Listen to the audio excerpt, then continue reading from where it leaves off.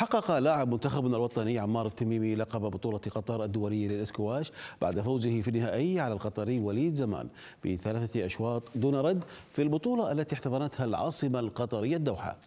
وقال التميمي أن هذا الإنجاز جاء بعد فوزه في جميع مبارياته في البطولة والتي يشرف عليها الاتحاد الدولي للعبة وشارك بها 16 لاعبا وأقيمت بنظام خروج المقلوب.